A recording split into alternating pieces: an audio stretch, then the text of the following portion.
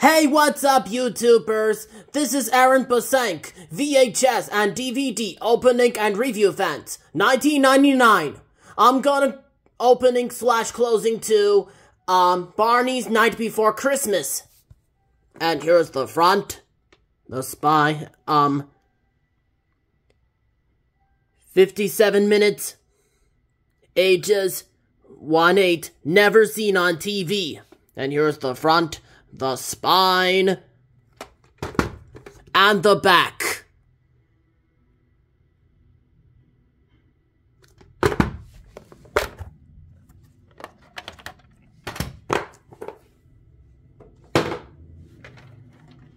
And here's the tape with the ink label.